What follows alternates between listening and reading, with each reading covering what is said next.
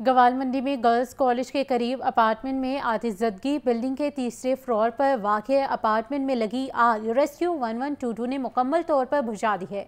Rescue एहलकारों के मुताबिक जाय वकुआ पर पहले से ही एक शख्स मुर्दा हालत में पाया गया। तफसलत मोहम्मद उसामा की इस रिपोर्ट में।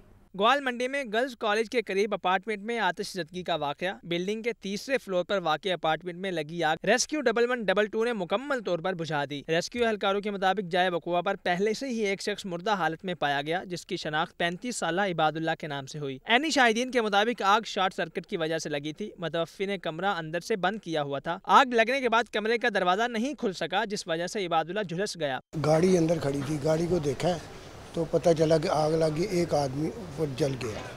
इसको पुलिस साथ लेके चले गए। यहाँ पे जो आग लगी है ना शास्त्र की वजह से लगी है और दरवाज़ा अंदर से बंद है ऐसा।